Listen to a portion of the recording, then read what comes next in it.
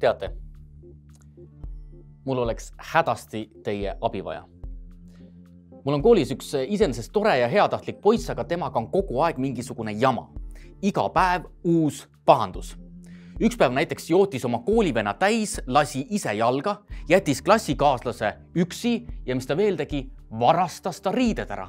selline tüüp mul tekkis mõte, et võiks tema koolielust raamatu kirjutada, aga mitte niisama raamatu, vaid ikka korraliku bestselleri, mida kõik tahaksid lugeda. ja mitte ainult praegu, vaid ka näiteks saja aasta pärast. nii et kui teil on vähegi viitsimist, ehk aitate mind. mina seda koolielu nii täpselt ei tunne, aga kui me koos mõtleksime ja kui te oma mõtted näiteks siia kommentaariumisse kirja paneksite, siis ehk saame hakkama. võib-olla saame isegi rikkaks raha oleks küll vaja, jah. seekordses videoõpsi loengus alustame üheskoos bestselleri ehk menuki kirjutamist. selleks tuleb esmalt mõelda, kuidas ülepea lugusid jutustatakse. nagu eelmises loengus öeldud, on inimene narratiivne olend, kes mõtleb lugusid välja ja jagab neid teistega. ka mõiste narratiiv tähendabki lihtsustatult lugu või jutustust. millest lood koosnevad? Enamasti on lugudel algus, teemaarendus ja kokkuvõte, see on selge. võiksime kõigepealt paika panna näiteks miljöö. see tähendab, et kus ja kunas need sündmused aset leiavad, missugune on ümbritsev aeg ja ruum. võib-olla olete ise praegu koolimajas ja võite ümberringi vaadata, mõelda, missugused näevad välja ruumid, kus too pätipoiss tegutsema hakkab ja võite muidugi ka kirjutada siia kommentaariumisse, siis paneme kõikide kirjeldused kokku ja ongi valmis. mina mõtlesin, et võib-olla ei hakkaks tänapäeva kooliga tegelema ehk paigutame poisi näiteks kusagile üheksateistkümnenda sajandi lõpu haridussüsteemi.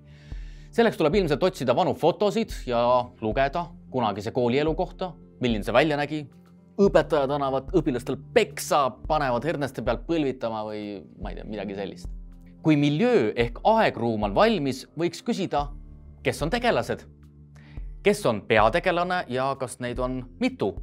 näiteks mõni tütarlaps, kerge armastuslugu või mõni selline tagasihoidlik klassikaaslane. kes on kõrvaltegelased? kui on koolielu, siis ilmselt õpetajad. mõni võiks kindlasti olla vastik õpetaja, kes karjub ja peksab õpilasi. mõni õpetaja võiks olla jällegi heatahtlik ja toetav teised õpilased, samuti kõrvaltegelased. mina soovitan mõelda mõne oma tuttava peale, võtame ta nii-öelda prototüübiks ehk siis inimeseks, kelle põhjal me tegelase loome või paneme paari tuttava omadused kokku ja saame ühe tugeva kõrvaltegelase. veel võiks mõelda, kas on ka episoodilisi tegelasi, kes vahepeal ilmuvad, aga pole ülearu olulised. noh, selliseid võiks ikka natukene olla. kui me räägime meie pätipoisist, tuleks kokku leppida, kas ta on sügav tegelane kas ta on sisemiselt muutuv, kas ta areneb, kas tema sisemaailm on keerukas. umbes nagu Tõe ja õiguse Andres, kes alguses on väga tore mees, aga lõpus viskab lapse kodust välja ja peksab naist.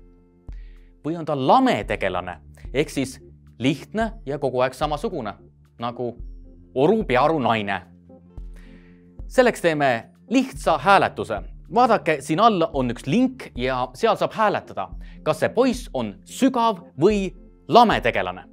palun, hääletamine on alanud. suur tänu kõigile hääletajatele. millele veel võiks tegelaste puhul mõelda? noh, nagu iga inimese puhul, kust nad pärit on, missugused nad välja näevad, missugused on nende iseloomujooned. miljöö on meil olemas, tegelased paigas tavaliselt on lugudel ka konflikt või probleem. mis see võiks olla? näiteks tuleb joodikust naabrimehega kahasse kraavi kaevata. või veel parem mõte, lapsed armuvad, aga perekond on omavahel tülis. ühesõnaga mingisugune takistus, mille tegelane peab ületama. aga selle peate küll teie välja mõtlema, minul ei tule midagi pähe, ma ei tea, haridussüsteem piinab teismelisi või midagi sellist. aga mis toimub üldse? Millest me kirjutame? mis on põhilised teemad? seda peate jälle teie ütlema. iseenesest on selle poisi puhul sadu lugusid, millest võiks kirjutada. näiteks ükskord saatis ta klassiõe uisutama kohta, kus jää oli väga õhuke ja plika kukkus sisse otse külma vette. siis teinekord tuli kooli ja võttis selle noh, koera kodust kaasa, võttis koera tundi kaasa ja kunagi ja sellest tuli veel hiljem väga suur skandaal, võttis püstoli või revolvri, ma ei tee neil vahet ja lasi naabermaja akna katki. selliseid mahlakaid lugusid võiksime siia lisada aga mitte ainult selle poisi kohta, eh, võiksime ka teistele tegelastele mõelda ja kui juba koolielu, siis eh, väike kaklus näiteks naaberkooli poistega. ühesõnaga, kui teil on ideid, palun pange kirja. lisaks lugudele võiksime mõelda, kes meile neid lugusid räägib. kas see raamat on mina vormis ehk mina jutustus või tema vormis või hoopis meie vormis. ühesõnaga, kes on jutustaja? kui on lugu, on alati ka jutustaja kes meile seda lugu vahendab. kas see jutustaja on kõiketeadev ehk siis nagu mingi kõrvalseisev kõrgem jõud, mis teab absoluutselt kõike, näeb äh, kõikide inimeste sisse, teab isegi seda, mis edasi saab. või on tegemist piiratud jutustajaga, kes näeb maailma näiteks mõne õpetaja või õpilase silme läbi.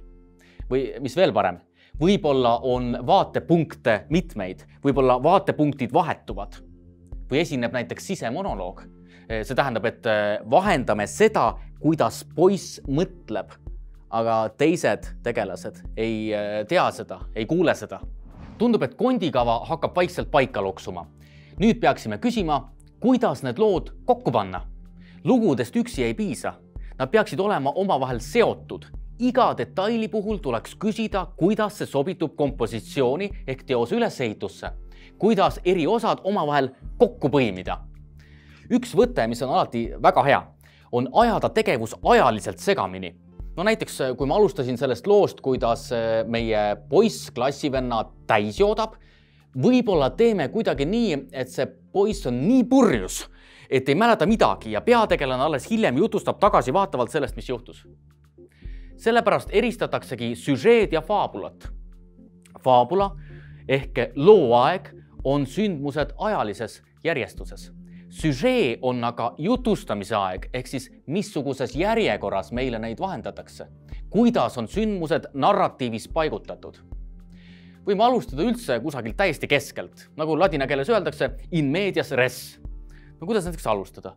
ma ei tea, võtame, mis tegelane no,, näiteks Jüri, Vello, ma ei tea, pane mingi totra nime näiteks Arno, kui Arno isaga koolimajja jõudis, no umbes midagi sellist. vaatame parem tagasi, millest oleme sedapuhku rääkinud. esiteks, narratiiv on lihtsustatult lugu või jutustus, millel on algus, teemaarenduse lõpp. teiseks, miljöö on jutustuse aegruum. Kolmandaks, jutustuses võivad olla peategelased, kõrvaltegelased ja episoodilised tegelased. näiteks Vargamäe Andres on peategelane, aga Hundipalu Tiit kõrvaltegelane. neljandaks, tegelastel võivad olla prototüübid ehk nad võivad põhineda päris inimestel. viiendaks, tegelased võivad olla sügavad ehk areneda teose jooksul või lamedad ehk olla kogu aeg samasugused. kuuendaks jutustuse puhul on oluline vaatepunkt. kas tegemist on näiteks mina, tema või meie vormis jutustusega, kas jutustaja on kõiketeadev või piiratud, kas vaatepunktid vahetuvad? seitse. faabula on sündmused ajalises, kronoloogilises järjekorras, süžee on sündmused esitamise järjekorras. oleme meelde tuletanud jutustuse olulised komponendid järgmises loengus vaatame lähemalt, kuidas neid proosateose analüüsimisel ja tõlgendamisel kasutada. praegu jätan teid siia edasi kirjutama ja loodetavasti aitate mind sellel keerukal teekonnal, et valmis kirjutada bestseller. raha oleks küll vaja